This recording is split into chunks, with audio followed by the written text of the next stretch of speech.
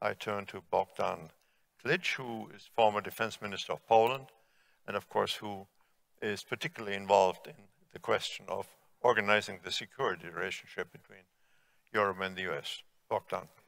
Thank you very much, uh, Carl. I will not concentrate on the history, even the recent history between our meeting in uh, uh, in Rabat and uh, and here. Although so much happened that it would be necessary to mention that. I will concentrate on the current uh, uh, threats and challenges per perception, not going too far, not going beyond the traditional uh, uh, Euro-Atlantic area. So some words about uh, Russia, NATO, and the response of the European Union. Russia, uh, without doubts, remains an aggressive and disruptive uh, power that challenged the international order in Ukraine. We were talking about that uh, two years and three years ago, showing to be ready to use the force overseas, then in Syria, now in Libya and also in the Sahel. Let's remember about the presence of Wagner units in, uh, in Sahel. Russia tries to reintegrate as biggest part of the post-Soviet space as possible. Uh, we are witnesses of the soft annexation of, uh, of Belarus that didn't begin uh, recently, that began uh, before the uh, uh, the revolution of freedom in that country, in Belarus, but accelerated according to those processes recently. Without doubts, Rus Russia will interfere with uh, political processes of the West, mainly with elections, as it did uh, in 2016 in the US and 2015 in my country trying to deepen in divisions in the West, both within NATO and within the European community. Uh, I have, I am convinced that uh, Russia will try to establish a dominant military position in the Arctic. Let's take it seriously into consideration, although this uh, rivalry between powers and uh, various actors uh, is not so clear right now and we'll continue to set up new re relationships uh, uh, in Africa, playing here in the Middle East uh, an important and influential role.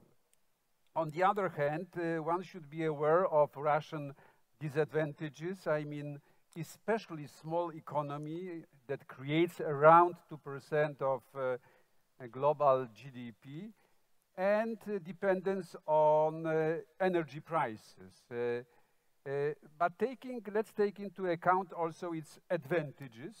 That's important. large conventional forces, modernized weapons of mass destruction, energy resources and aggressive foreign policy that uh, we can observe, especially during last uh, last uh, decade.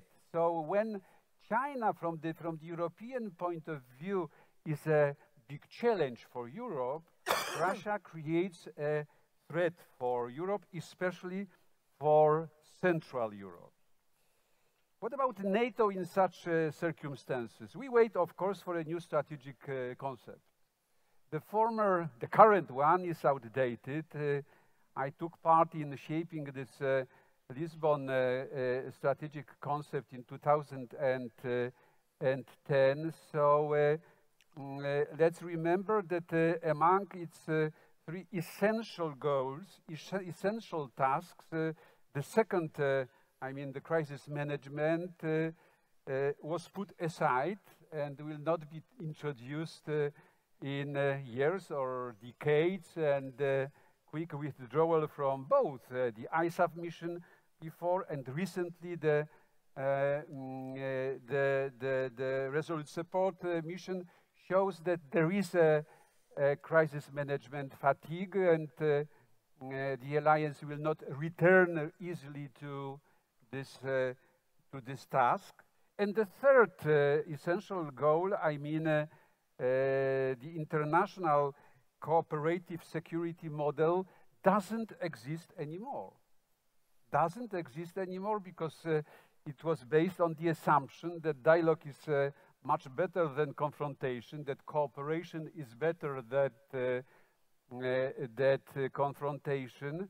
And frankly speaking, it was uh, blown up by the invasion of Russian troops in Ukraine, both uh, in the Crimea and in, uh, in Donbass. And it was not uh, replaced by any other concept of, of security. So we have from this existing current strategic concept only the first essential goal, and this is deterrence and, uh, and defense. Uh, the next strategic concept has to be, uh, has to be extended and has to uh, incorporate the current challenges and current uh, tasks uh, stemming not only from Russian but also from Chinese foreign and security uh, policy and should respond to current uh, main uh, threats, like, for example, energy or cyber threats. The report NATO 2030 is a kind of indicator what could be and what should be, according to my understanding, introduced into this, uh, mm, this concept and into the practice of the alliance. First of all, uh, real political unity of, uh, of NATO.